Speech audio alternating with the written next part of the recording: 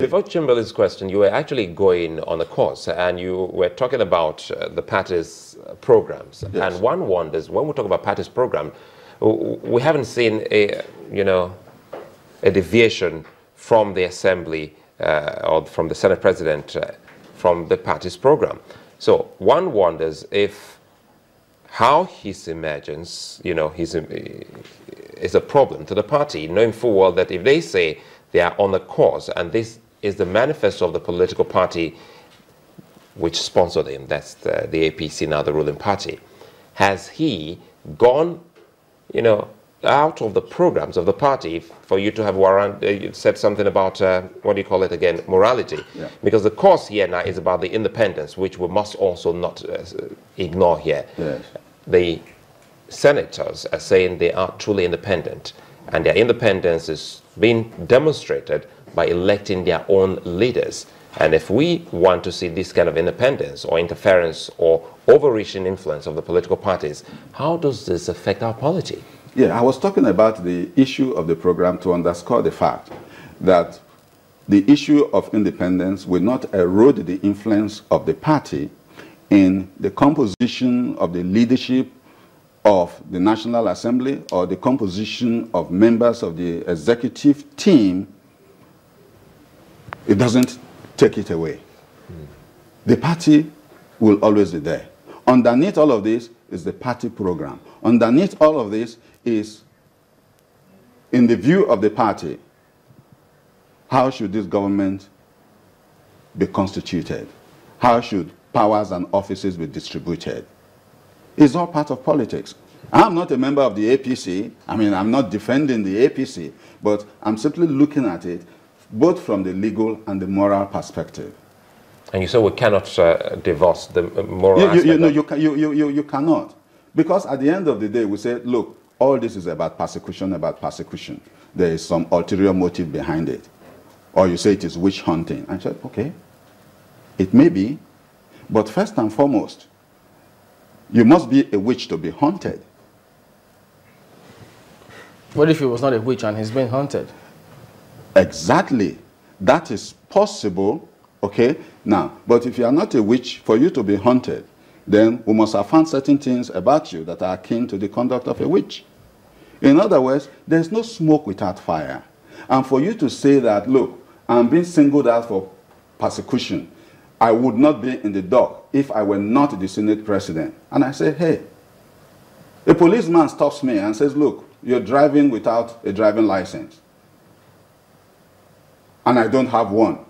And I looked at the policeman and said, hey, look, there are so many cars behind me. Have you checked them to see whether they don't have driving license? Why is it that you are pulling me out?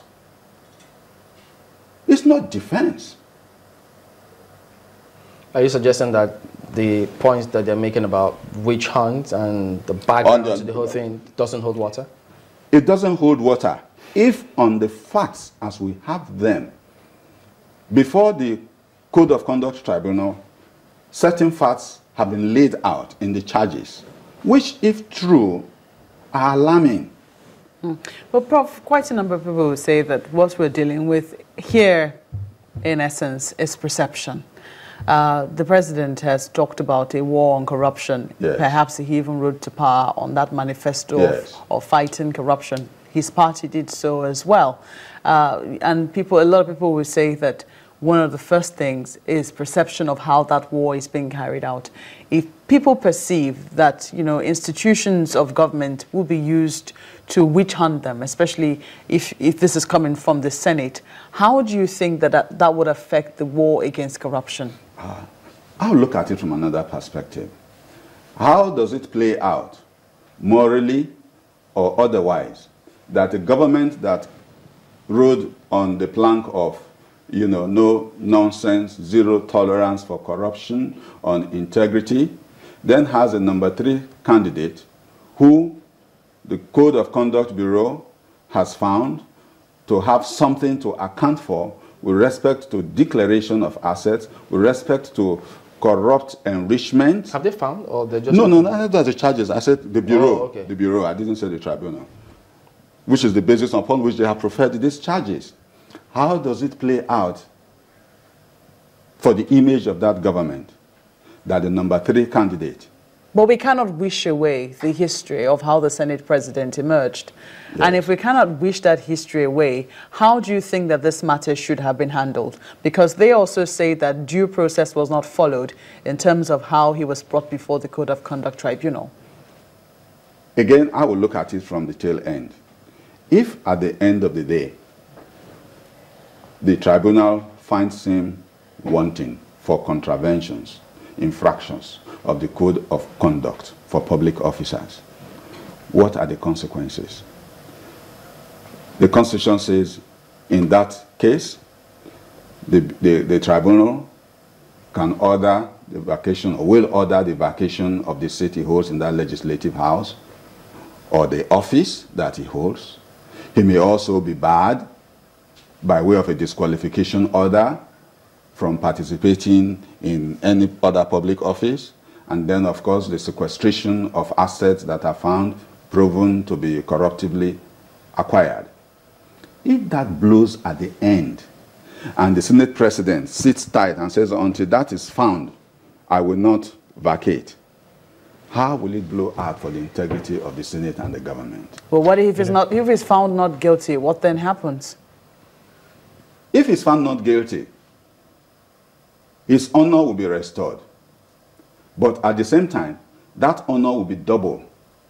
Look, we've seen cases of simple cases of uh, alleged rapes. And notable public officers internationally then stepped down and said, hey, until this air is cleared, my moral integrity is at stake. I'll rather step aside from exalted offices. You know, people... Uh, when you do that, Prof. you exalt the office. And at the end of the day, if you are then found innocent, it is double exaltation for you. I understand you, Professor, uh, Prof. The, the thing here is that some would say in other climes, yes, in other climes, that's what uh, is expected of the Yes, why can't we live up to those standards? But after they, all, they have these are back. all coming, honorable I'm, members. I'm, coming, Prof. They have come Where back. is the honor? have, uh, hold on, if we say we must Prof. throw. Morality here, to the dustbin in the name for legality. a minute here. We're coming back home. They just realized, some have argued that, look, if you want anyone to get out of the way, what you do is just throw any kind of allegation against that person. Once the person is out, you clear him or her, and it's business as usual. But the aim is achieved.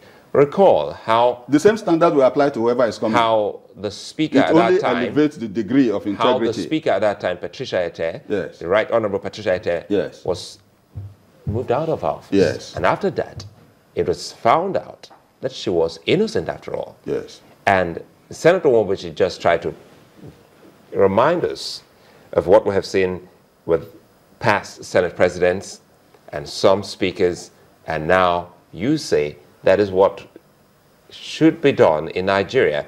But Nigerians, uh, some of them are saying, wait a minute, we shouldn't even get to that part first.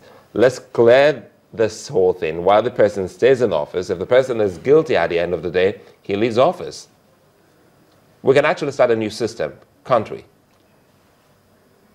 A new system that says you must stay put until you are found guilty. That is why, for example, you remember the case of uh, Farouk Lawan, okay, who it was all over the press, both the accusers, the givers of the bribe, the recipients of the bribe, you know, they all stated their versions on the pages of newspapers. But because of this whole idea that, oh, until he is found guilty by a court of competent jurisdiction, he is innocent, he succeeded in stretching the entire judicial system, and indeed, I think that, that matter is still in court, and he served his full term. Is that the kind of honor we want in the hallowed chambers of the National Assembly?